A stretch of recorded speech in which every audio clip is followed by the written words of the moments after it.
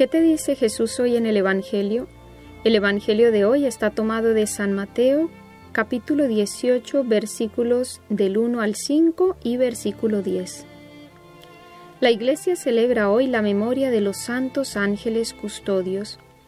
Y el Señor dice en el Evangelio, quien se haga pequeño como este niño, ese es el mayor en el reino de los cielos. Guárdense de menospreciar a uno de estos pequeños, porque yo les digo que sus ángeles en los cielos ven continuamente el rostro de mi Padre. En varios pasajes, el Antiguo Testamento nos recuerda la asistencia que algún ángel daba a los patriarcas en sus peregrinaciones, o nos los muestra como protectores del pueblo santo de Dios. Y el Salmo 40 nos dice expresamente, a sus ángeles ha dado órdenes para que te guarden en tus caminos. Los ángeles custodios fueron creados por Dios con una misión muy especial, la de acompañar a los hombres durante su vida terrena para protegerlos y guiarlos en el camino del bien. Y el Señor hoy nos lo confirma en el Evangelio. Luego cada uno de nosotros tiene un ángel custodio. La pregunta de hoy sería, ¿somos conscientes de esa celestial compañía? El ángel de la guarda es nuestro compañero y protector.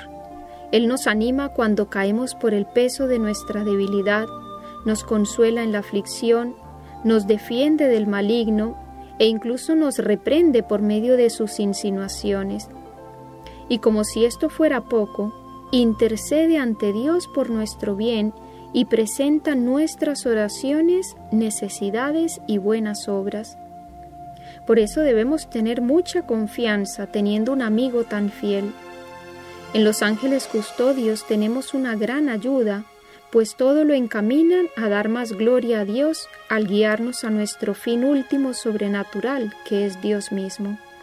Debemos tener hacia ellos una gran veneración y confianza, agradecimiento y docilidad.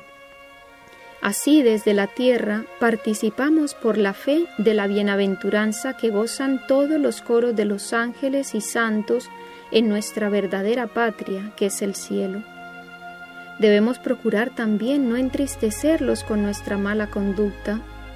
Cada vez que pecamos, y mucho más si cometemos pecados contra la pureza, imaginemos cómo se pondrán ellos que continuamente nos están viendo. Si a veces por vergüenza nos escondemos de los hombres para hacer algo malo, qué vergüenza debería darnos el pensar que esos ojos puros y angélicos están viendo cómo nos manchamos con el pecado y de la misma manera, hermanos, qué contentos se ponen cuando nosotros hacemos actos de virtud.